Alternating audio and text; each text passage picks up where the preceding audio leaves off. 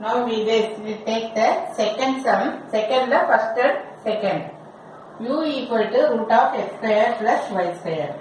We write it as u of x comma y equal to root of x square plus y square.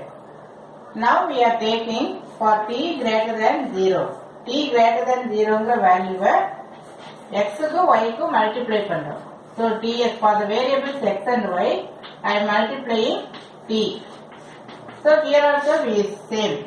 So x square square t square x square plus t square y square. That means we are multiplying by t where value of t is greater than 1.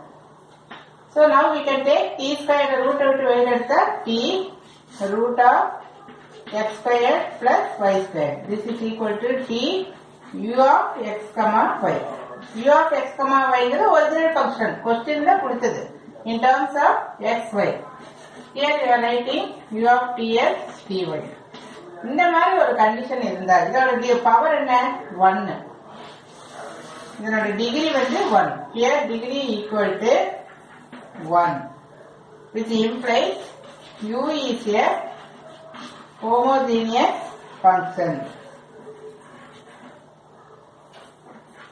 யூனிக்ஸே homogeneous function பொதுவாக homogeneous ஃபங்க்ஷன்னா இந்த power வந்து ஈக்குவலாக இருக்கணும் so இந்த condition satisfy ஆனால் we say we say u is function that means I write the definition for this f of t x t y equal to t power n f of x y f of x ஒய்ங்கிறது original function இது வந்து நம்ம make பண்ணுறது t power n வேற n is the degree இந்த மாதிரி எழுத முடியும் அப்படின்னா then f is a homogeneous function f is a homogeneous function இது வந்து நமக்கு by definition so if f is a homogeneous function we can apply Euler's theorem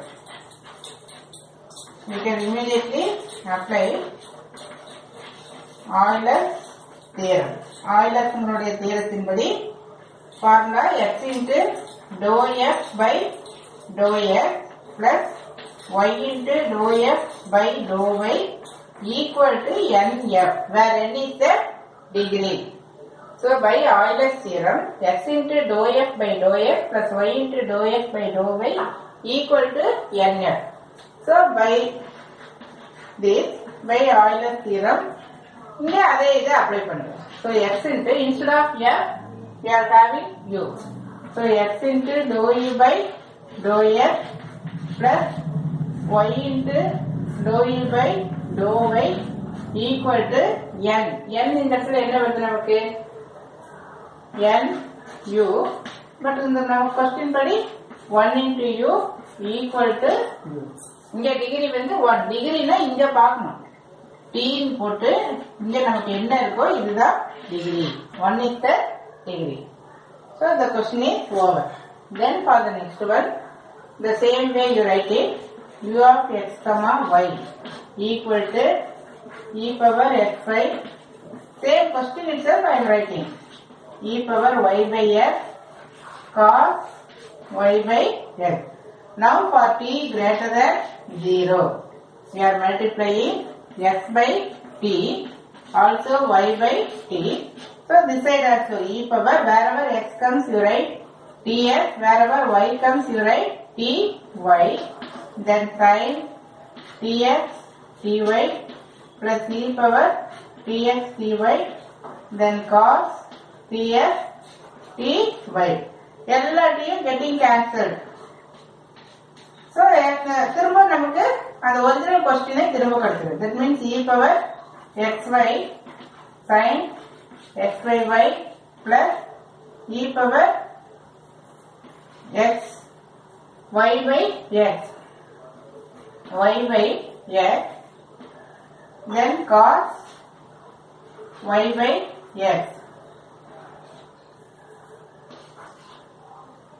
cos y by x so டீன்னு substitute பண்ணோம் but all the t getting cancel திரும்ப கொஸ்டினே கிடைச்சிருச்சு. அப்ப நம்ம இந்த இடத்துல என்ன பண்ணணும் யூ ஆஃப் டிஎக்ஸ் டிஒய்னு பிகின் பண்ணோம்.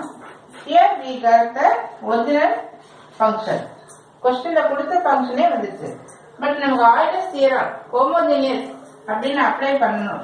இப்போ இங்க வந்து u is a homogeneous function அப்படின்னு எழுதணும். பட் நமக்கு அந்த டிகிரி வேணும் இல்லையா? டிகிரி வேணும் அப்படிங்கிறது பதிலா நம்ம வந்து இங்க வந்து ஒன்னு தான் இருக்கு. ஒன்னுங்கிறத நம்ம டி பவர் ஜீரோன்னு எழுதிக்கலாம். எல்லாமே டி போட்டு கேன்சல் ஆயிடுச்சு. இந்த இடத்துல நமக்கு ஒன் அப்படிங்கிறப்போ அதை நம்ம என்ன எழுதிக்கலாம்? T power zero l t power zero is one அப்ப நமக்கு இந்த இடத்துல டிகிரி என்ன கிடைச்சிச்சு degree equal to zero so the degree of the function is 0. Where n equal to degree இந்த இடத்துல நமக்கு என்ன கிடைச்சிருச்சு ஜீரோ அப்படின்னு கிடைச்சிருச்சு so u homogeneous function with degree equal to zero therefore immediately we can apply Euler's theorem so by Euler's theorem formula என்ன x into doh u by doh x plus y into doh u by doh y equal to n into u but என்ன நமக்கு என்ன என்னோட value zero so zero into u that is nothing but u சரி zero இதுதான் நமக்கு prove பண்ண வேண்டியது. கொஸ்டின்ல பாத்தீங்கன்னா இதை இது கொடுத்துருக்கோம். ஈக்குவல் டு ஜீரோ அப்படின்னு கொடுக்கணும். ஸோ ஃபார் திஸ் இது கொடுத்துருக்கிறது ஒரிஜினல் ஃபங்க்ஷன் அதை நம்ம டி கிரேட்டர் தென் ஜீரோங்கிற வேல்யூக்கு மல்டிப்ளை பண்றோம். அப்புறம் ஏதோ ஒரு சம் டிகிரி நமக்கு கிடைக்கும். இந்த இடத்துல ஒரிஜினல் ஃபங்க்ஷன் கிடைக்கும். இந்த மாதிரி இருந்தால் ஹோமோஜினியஸ் ஃபங்க்ஷன் சொல்லுவோம். கண்டிப்பா டிகிரி என்ன அப்படிங்கறத எழுதணும். அதுக்கப்புறம் ஆயிலஸ் எடுத்து அப்ளை பண்ணணும். தேங்க்யூ